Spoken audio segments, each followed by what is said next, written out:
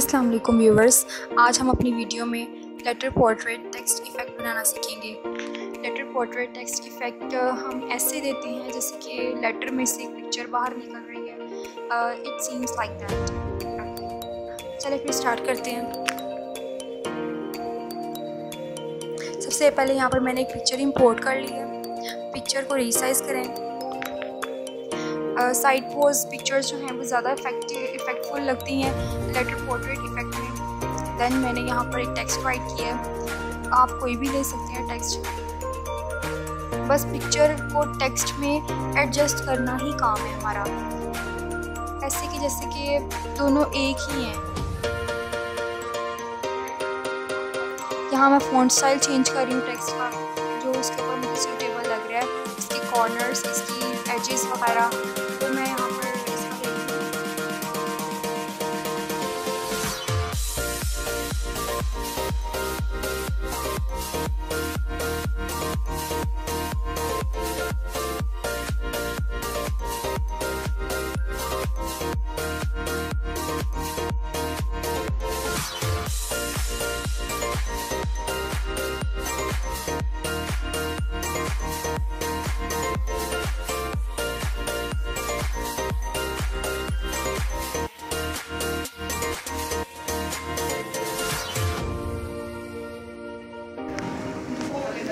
और अब यहाँ पर मैं जो हूँ, वो पिक्चर को टेक्स्ट के ऊपर एडजस्ट कर रही हूँ, क्योंकि यहाँ पर मुझे क्लिपिंग मास्क क्रिएट करना है। क्लिपिंग मास्क का जो है, मैंने मीनिंग आपको अपनी लास्ट वीडियो में बताया था कि क्लिपिंग मास्क का मतलब ये है कि किसी भी पिक्चर को किसी दूसरी पिक्चर में या फिर टेक्स्ट में क्लोज़ करना। नेक्स्ट पिछली पिक्चर में हमने सॉरी पिछली वीडियो में हमने अपने टेक्स्ट को पिक्चर में क्लोज आउट किया था। अब इस वीडियो में हम लोग अपनी पिक्चर को टेक्स्ट के अंदर क्लोज आउट कर रहे हैं। यहाँ पर मैंने पिक्चर की ओपेसिटी को कम कर दिया है। वो इसलिए क्योंकि मुझे पता चले कि मैं कहाँ पर पिक्चर को टेक्स्ट के ऊपर इंपोर्ट कर रही हूँ और इसको एडजस्ट कर रही हूँ। नेक्स्ट अब यहाँ पर हम क्या करेंगे? यहाँ पर मैंने क्या किया है? पिक्चर की जो लेयर है, उसके ऊपर राइट क्लिक किए देन क्लिपिंग मास्क क्रिएट कर दिए याद रहे कि हमारा जो टेक्स्ट की लेयर है, वो हमारी पिक्चर के नीचे वाली लेयर पर होनी चाहिए। आफ्टर दैट uh, uh, यहाँ पर मैंने uh, इसकी एक और कॉपी क्रिएट कर लिया कंट्रोल जी प्रेस करके जिस पिक्चर की हमने क्लिपिंग मास्क किया हुआ था एडजस्ट की हुई पिक्चर का हमने डुप्लीकेट लेयर लेनी है। एडजस्ट के बगैर हमने नहीं लेना बिकॉज़ कि जहाँ पर हम पिक्चर की डुप्लीकेट लेयर ले रहे हैं ना एक तो पिक्चर हमारी टेक्स्ट के अंदर क्लोज आउट हो चुकी है और दूसरी पिक्चर हमारी वो टेक्स्ट के बाहर हमें शो होगी।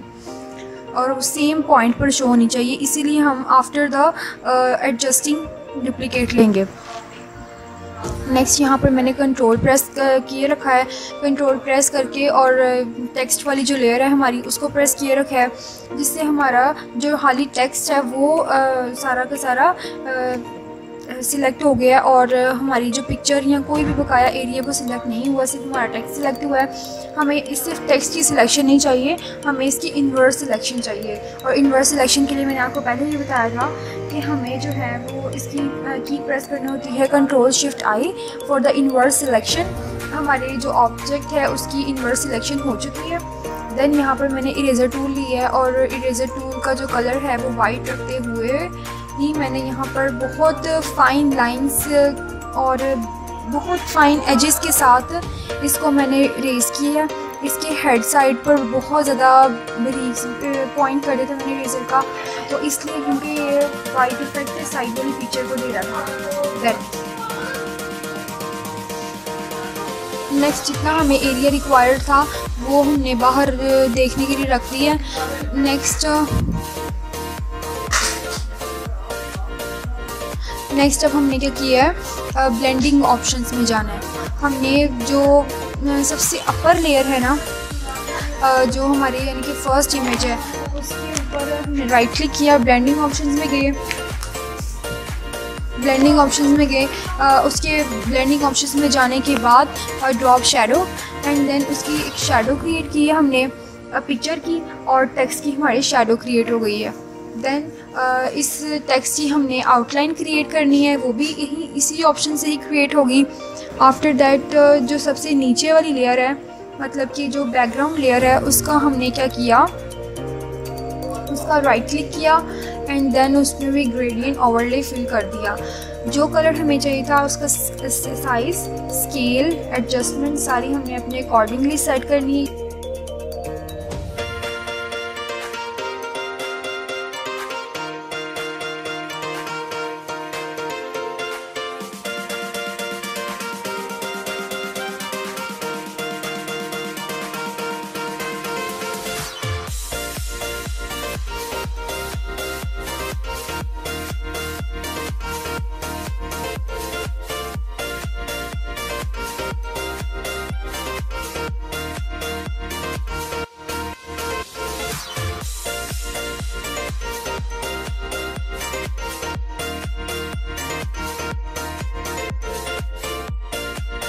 यहाँ पर मैंने रेडियल इफ़ेक्ट किया है इसका रिवर्स प्रोसेस किया है और जो स्केल है वो चेंज किया है।